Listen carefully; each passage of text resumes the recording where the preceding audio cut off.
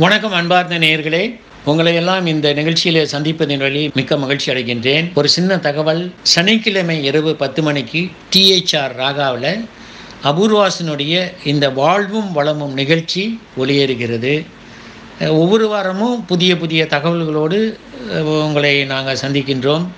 திரு மாறன் அவர்கள் தான் இந்த நிகழ்ச்சியை வழிநடத்துகின்றார் என்பதை உங்களுக்கு தாழ்மையோடு தெரிவித்துக் கொள்கிறோம். கேட்டு பயன்பெறலாம். உங்களுக்கு தெரிந்தவர்கள் யாராவது இருந்தால் அவங்களுக்கும் நீங்கள் சொல்லலாம். இந்த நிகழ்ச்சியில் சில பயனான தகவல்களை உங்களோடு பகிர்ந்து கொள்கிறோம்.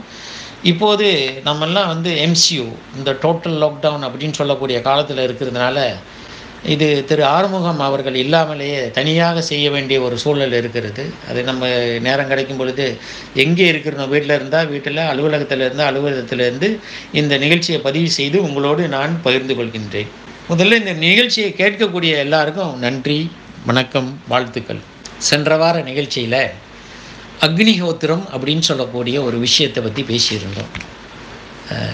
யாகம் தரும் யோகங்கள் அப்படின்னு சொல்லக்கூடிய சில ஒரு புத்தகம் வேள்விகள் கண்ட விஞ்ஞானம் அப்படின்னு சொல்லக்கூடிய புத்தகம் நம்முடைய ஆகமங்களில் சொல்லப்பட்டிருக்கக்கூடிய விஷயங்கள் இது எல்லாத்தையும் தொகுத்து பார்த்து தான் அந்த நிகழ்வை வந்து நம்ம படைத்தோம் இந்த இருபத்தைந்து ஆண்டுகள் என்னுடைய அனுபவத்தில் வெற்றி கொள்ள முடியாத விஷயங்களை வெற்றி கொள்வதற்கு துணையாக இருந்தது மனித பராக்கிரமத்தை சிறப்பாக வைத்திருந்தது நோயிலிருந்து மிகப்பெரிய பாதுகாப்பினை கொடுத்தது துவண்டு போன பொழுதெல்லாம் எனக்கு ஒரு வெற்றியை கொடுத்து ஒரு உந்துதல் சக்தியை கொடுத்தது அப்படின்னா இந்த அக்னிஹோத்திரம் தான். நிறைய எதிர்ப்புகள் ஆரம்ப காலத்தில் இருந்துச்சு.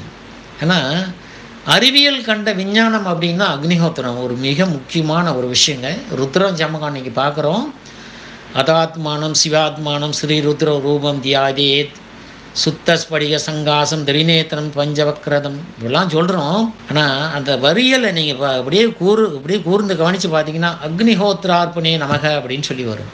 அக்னிஹோத்திரம் மனிதனுடைய வாழ்க்கையில் அவ்வளவு ஒரு முக்கியமானது. இந்த மனித சமுதாயத்தை அப்படியே ஆட்கொள்ளக்கூடிய ஒரு மிகப்பெரிய தொற்று நோய் வரக்கூடிய காலமாக இருந்தாலும் அதிலேருந்து மனிதனை காப்பாற்றக்கூடிய வல்லமை இந்த அக்னிஹோத்திரத்தில் இருக்குது அப்படின்றது நம்முடைய முன்னோர்கள் கண்டுபிடிச்சு சொல்லியிருக்காங்க. அதுதான் போன வாரம் நிகழ்ச்சியில் சொல்லியிருந்தேன். போபால் விஷவாயு கசிவில் யூனியன் காபாய்ட் அப்படின்னு சொல்லக்கூடிய தொழிற்சாலையிலேருந்து வெளியே வந்த க விஷவாயுவை சுவாசித்து எத்தனையோ ஆயிரக்கணக்கான பேர் இறந்து போனாங்க. அந்த அக்னியோத்தரம் செய்த குடும்பம் ஒரு நான்கு ஐந்து குடும்பம் மட்டும் உயிராயிருச்சு. ரஷ்யாவிலேருந்து ஜெர்மனியிலேருந்து வந்த விஞ்ஞானிகள்லாம் அப்படியே வியந்து போனார்கள். ஆராய்ச்சி செய்து பார்த்து இந்த அக்னியோத்தரம் எரியக்கூடிய வேலையில் மென்தால் இன்தால் ஃபீனோல் அமினோ அப்படின்னு சொல்லக்கூடிய வாயுக்கள் வெளியிடுகிறது. இந்த கார்போக அரிசியை இந்த நெய்யில் கலந்து விட இடக்கூடிய வேலையில் மனிதனுக்கு சுவாசத்தில் நல்ல சூழ்நிலை ஏற்படுத்துகிறது. சுற்றுச்சூழலில் இருக்கக்கூடிய கிருமிகளை வைரஸுகளை வந்து அது முற்றும் முற்றுமாக துடைத்தொழிக்கிறது அப்படின்னு அவங்க கண்டுபிடிச்சு சொன்னாங்க. இப்போ நம்ம சிந்திச்சு பார்க்குறோம் அந்த காலத்தில் வேப்ப மரமும் மஞ்சளும் கிருமி நாசினி. நம்முடைய தாத்தா பாட்டி சொன்ன காலத்தில் அதெல்லாம் பிறகு பார்க்கலாம். இப்போல்லாம் ஊசி வந்துருச்சு அப்படின்னு சொன்ன நாம் இப்போது நம்ம திரும்பி பார்க்குறோம். ஊசி தான் நம்மக்கிட்ட இருக்குது கோவிட் பத்தொம்போது ஏன் இந்த அளவுக்கு ஒரு கோர தாண்டவம் ஆடுகிறது? மனிதன் மனிதனாக வாழக்கூடிய சூழ்நிலையில இருந்து விலகி ஏதோ ஒரு சூழலுக்கு நம்ம சென்று விட்டோம். இப்போ மனிதன் இந்த ரீசெட்டிங்னு சொல்லுவோம் இல்லையா? ஒரு பட்டனை ரீசெட் பண்ணுற மாதிரி கடவுள் இப்போ ரீசெட் பண்ணுறாரு திரும்பவும் மனிதன் பழைய நிலைமைக்கே போகணும். திரும்பவும் பழைய வகையான உணவுகள். அந்த காலத்திலலாம் முருங்கைக்கீரைன்றது ரொம்ப முக்கியமான ஒரு கீரையாக எல்லோரும் உட்கொண்டோம். அண்மையில் வந்து ஒரு பதிவு நான் படித்தேங்க ஒரு அறிவியல் பதிவு. அந்த அறிவியல் பதிவில் என்ன சொல்லியிருக்குன்னா எட்டு வகையான வைட்டமின்கள் சத்துக்களை நம்மளுடைய உடல்னால் தயாரிக்க முடியாதான் அந்த எட்டு வகையான வைட்டமின்களும் சத்துக்களும் அசைவ உணவுலேருந்து இருந்தால் கண்டிப்பாக கிடைக்குன்றாங்க அப்போ நம்ம என்ன உடனே உடனே நினைப்போம் அசைவ உணவு கண்டிப்பாக சாப்பிடணும். மீன் கோழி இறைச்சி இதெல்லாம் சாப்பிடணும்னு நினைப்போம். அந்த மீன் கோழி இறைச்சியில் கிடைக்கக்கூடிய எட்டு வகையான வைட்டமின்களையும் ஒரே ஒரு பொருள்லேருந்து பெற்றுக்கொள்ளலாம்னா முருங்கைக்கீரையிலேருந்து பெற்றுக்கொள்ளலாமா? எப்படியாப்பட்ட ஆச்சரியங்க. நம்ம தாத்தா பாட்டி அந்த காலத்தில் வாழ்ந்தவங்க வீட்டுக்கு ஒரு முருங்கை மரம் இருக்கணும்னு சொன்னது எதுக்காகங்க? மனிதன் சுகாதாரமாக சுபிட்சமாக நல்ல உடம்போடு சிறப்பாக வாழலாம் அப்படின்றதுக்காக வேண்டி தான் வீட்டுக்கு ஒரு முருங்கை மரம் இருக்கணும்னு சொன்னாங்க. அதை நம்ம நினச்சி பார்க்கணும். அதே போல் அந்த காலத்தில் வாழ்ந்தவர்கள் எல்லாரும் இப்போது கூட ஆயிரக்கணக்கான பேர் மலேசியாவில் அந்த அக்னியோத்திரம் செய்து கொண்டிருக்கிறார்கள். உலகளாவிய நிலையில் அந்த அக்னியோத்திரம் செய்பவர்கள்லாம் நல்லா தான் இருக்கிறாங்க. அவங்கள யாருக்கும் அந்த நோய் தொற்றினுடைய தாக்கம் இருப்பதாக தெரியவில்லை. நிகழ்ச்சியை கேட்குற நீங்களாம் கொஞ்சம் இந்த மெனக்கேடு அப்படின்னு சொல்லுவோம் இல்லையா? கொஞ்சம் மனது வைத்து கூகுள் சர்ச் பண்ணி பாருங்கள் Agnihotra dot com dot my Brazil Bolivia Netherlands Australia France India Switzerland போன்ற நாடுகள்லாம் நிறைய இடங்களில் அக்னிஹோத்திரம் பண்ணுறாங்க மேற்கத்தியர்கள்லாம் வந்து கூட்டம் கூட்டமாக சேர்ந்து இது பண்ணக்கூடிய வேலையில் மனதுக்கு நல்லா இருக்குது உடல் நல்லா நல்லா பெறுகிறது சுற்றுச்சூழல் சுத்தமாகிறது அப்படின்னு கண்டுபிடிச்சிருக்காங்க. விஞ்ஞானிகள்லாம் கண்டுபிடிச்சிருக்காங்க. அதனால தான் ஆயிரத்தி தொள்ளாயிரத்தி தொண்ணூற்றி ஒன்பதாவது வருஷம் மலேசியாவில் இந்த அக்னிஹோத்திரத்தை பற்றி விரிவுபடுத்துவதற்காக வேண்டி ஆயிரத்தி எட்டு பேரை உட்கார வச்சு நம்ம அக்னிஹோத்திரம் செய்தோம். பத்துமலை அடிவாரத்தில். மிகப்பெரிய வெற்றியை கொடுத்தது. இன்றைய வரைக்கும் இந்த அக்னிஹோத்திரம் என்னுடைய வாழ்க்கையில் அதை செய்து கொண்டிருக்கக்கூடியவர்களுடைய வாழ்க்கையில் மிகப்பெரிய வெற்றியை கொடுத்து கொண்டிருக்கிறது. நிறைய பேர் எதிர்த்தாங்க. எதிர்த்தவங்களாம் இப்போ எங்கே இருக்கிறாங்கன்னு தெரியாது. ஆனால் அக்னிஹோத்திரம் வியாபித்து சிறப்பாக செயல்பட்டு கொண்டிருக்கிறது. உங்களுக்கு அபூர்வாசி நிறுவனத்தினுடைய வாட்ஸ்அப் எண்களை உங்களுக்கு ஒரு தடவை நினைவுபடுத்துகின்றேன். சுழியம் ஒன்று ஒன்பது மூன்று நான்கு ஐந்து ஆறு ஒன்று எட்டு நான்கு. சுழியம் ஒன்று ஒன்பது மூன்று நான்கு ஐந்து ஆறு ஒன்று எட்டு நான்கு. நீங்கள் தொடர்பு கொள்ளலாம். யாருக்கெல்லாம் அந்த அக்னிஹோத்திரம் தேவையாக இருக்கிறதோ அபூர்வாசுக்கு மூன்று கடை இருக்கிறது ஜலன் துக்குக்குலனாவில் கிளானில் மூன்று கடை வணிக வளாகங்களில் இரண்டு கடைகள் மூடப்பட்டிருக்கிறது இந்த கோவிட் பத்தொம்போது லாக்டவுனில் ஆனால் அந்த கோயில் கடை முப்பத்தி ரெண்டு எண் கொண்ட கடை மட்டும் பூஜை பொருட்களுக்கும் மளிகை சாமான்களுக்காக திறந்து இருக்கிறது பலசரக்கு வியாபாரமும் அங்கே இருக்கிறது மளிகை சாமான்கள் அங்கே இருக்கிறது காய்கறிகள் இருக்குது. அதனால் அங்கே திறந்து இருக்குது அந்த இடத்துல இந்த அக்னியோத்திரம் உங்களுக்கு கிடைக்கும். பல பேர் சென்ற நிகழ்ச்சியை கேட்டுவிட்டு தொடர்பு கொண்டு அக்னியோத்திரம் வேணும்னு கேட்டீங்க. இந்த வட்டாரத்தில் இருக்கக்கூடியவங்க நீங்கள் தொடர்பு கொண்டு இங்கே பெற்றுக்கொள்ளலாம். தயாராக இருக்கிறது. அறுபது வராட்டி இந்த செப் செப்பு பாத்திரம் நெய் எல்லாம் ஒ- ஒருங்கே உங்களுக்கு இருக்கிறது.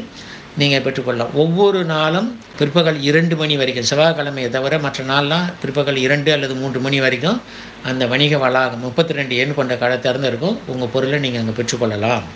அடுத்தது நிகழ்ச்சி நிறைய பேர் கேட்பீங்க இப்போ அக்னிஹோத்திரத்தை பற்றி பேசியிருக்கோம். ஒவ்வொரு வாரமும் இனிமேல் கண்டிப்பாக பேசுவோம். சரி இந்த காலத்தில் இப்போ கோவிட் பத்தொம்போதில் இருக்கோம். எல்லாருமே மனசில் ஒரு பயம் பீதியை கொண்டிருக்கின்றோம். என்ன செய்யலாம்? ஏதாவது ஒரு வழிபாடு பண்ணி கொண்டிருக்கலாமே. ஒரு குறிப்பிட்ட நேரத்தை நம்மலாம் தேர்வு பண்ணுவோம். ஏழு மணிலேருந்து ஏழரை மணிக்குள்ளே அதுதாங்க அக்னிஹோத்திர நேரமும் வருகிறது.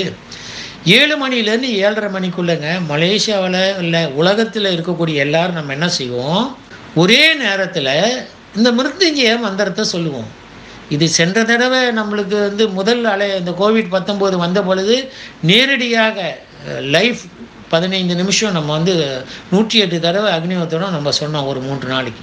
இந்த தடவை அந்த முயற்சி இல்லைனாலும் நம்ம எல்லாரும் வந்து ஒரு நேரத்தை தேர்வு பண்ணோம் ஏழுலேருந்து ஏழரை மணிக்குள்ளே வீட்டில் இருக்கக்கூடிய அனைவரும் பூஜை அறையில் உட்காந்து விளக்கு ஏற்றி ஒரு ஊதுபத்தி கொளுத்தி வச்சு மிருத்திய மந்திரத்தை சொல்லுங்கள் எல்லாரும் ஒட்டுமொத்தமாக சேர்ந்து உலகமே சேர்ந்து சொல்லக்கூடிய வேலையில் இந்த மந்திரத்தினுடைய ஓசை அந்த ஒளி அதனுடைய சக்தி அதனுடைய புராணன் கண்டிப்பாக அந்த ஈஸ்வரனை சென்றடையும்.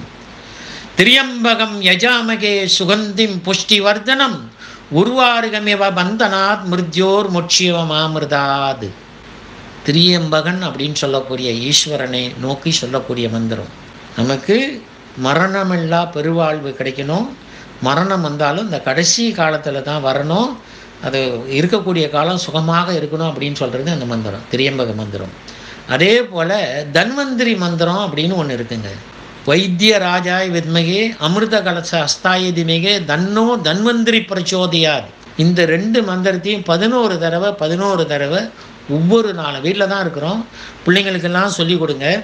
சொல்ல வையுங்க. நீங்களும் சேர்ந்து சொல்லுங்கள் வீடுகளுக்கு குறைந்தபட்சம் வெள்ளி செவ்வாயிலையாவது இந்த காலகட்டத்தில் நோய் தொற்று பரவாமல் இருப்பதற்கு குங்குளியம் சாம்பிராணி புகை தூபங்களை காட்டுங்க.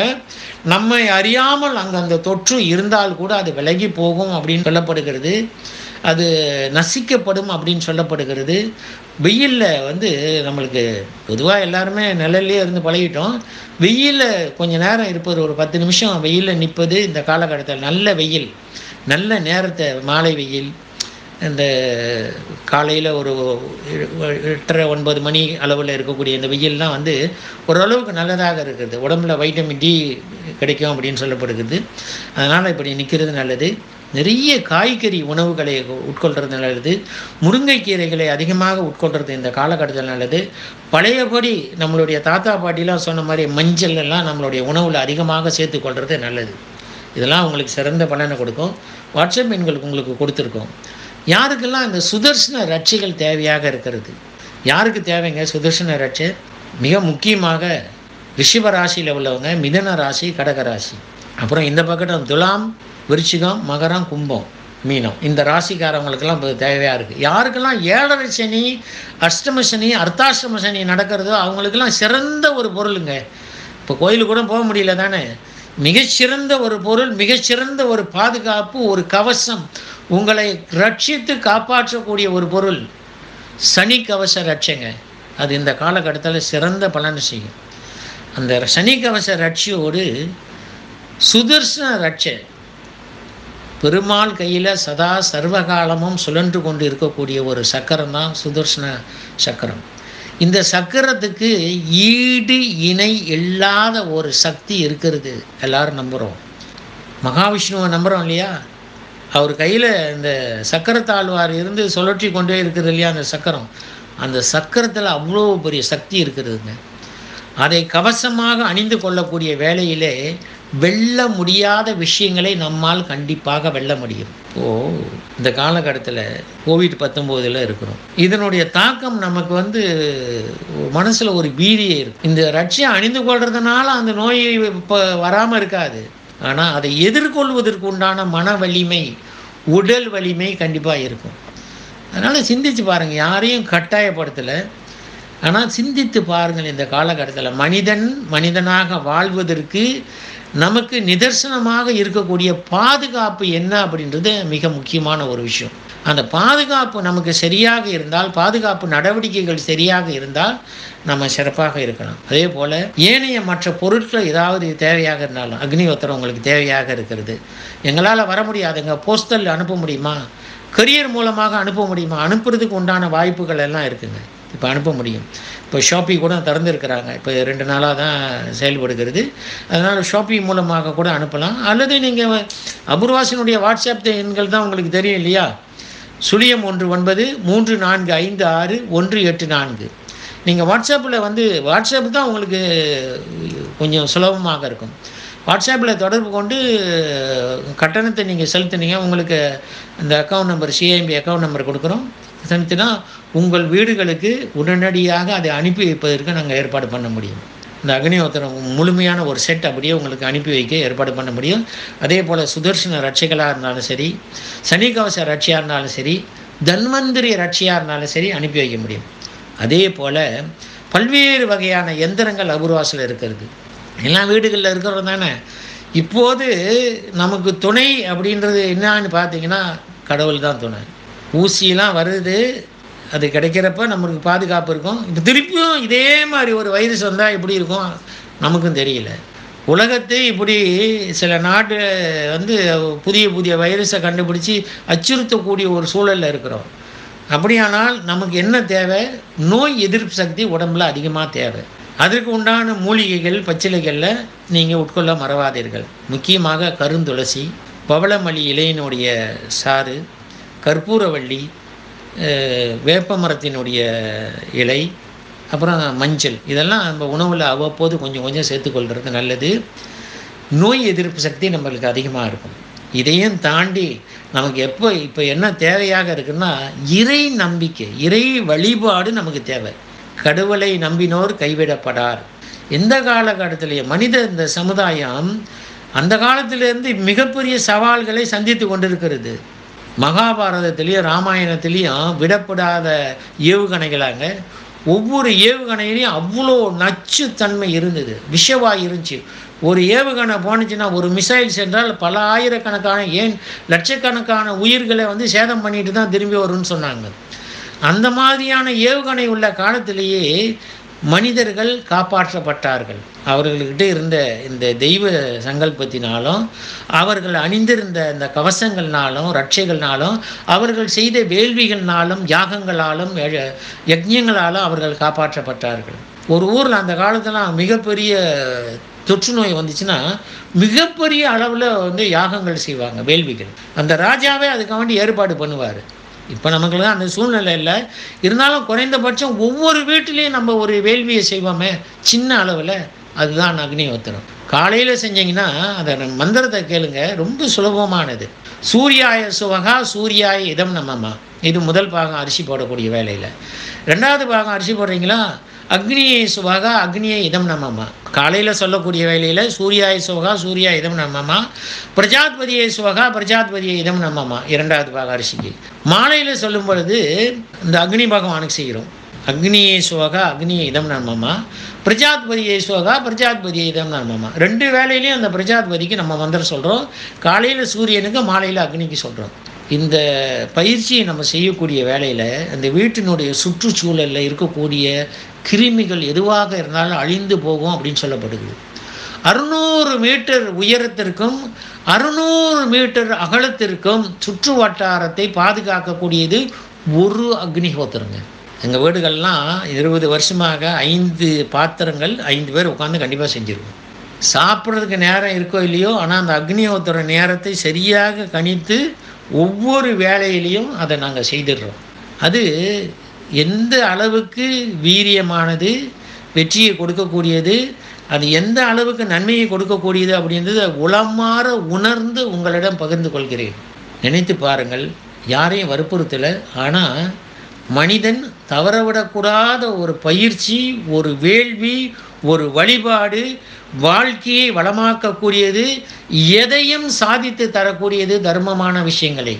அவசியம் வெற்றியை நமக்கு கொண்டு வந்து கொடுக்கக்கூடிய எப்படியா போட்டு எதிர்மறையான வியாதிகளில் இருந்து எதிர்மறையான தாக்குதல்களில் இருந்தும் மனிதனை காப்பாற்றக்கூடிய சர்வ வல்லமை பெற்றது இந்த அக்னிஹோத்திரம் என்று சொல்லக்கூடிய வழிபாடு.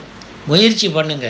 ஒரு மாதம் நீங்கள் தொடர்ந்து செய்து பாருங்கள் அதை செய்யக்கூடிய வேலையில் உங்களுக்கு என்ன கிடைக்கும் அப்படின்னு உங்களுடைய உள் மனதிற்கே தெரியும். இந்தியாவிலங்க அவர்களுடைய இராணுவத்தில் சில பேருக்கு வந்து இந்த பழக்க வழக்கங்கள் சரியில்லாமல் போயிருக்கு. ஒரு குறிப்பிட்ட காலகட்டத்தில் மது போதை வஸ்துக்களுடைய பழக்கம்.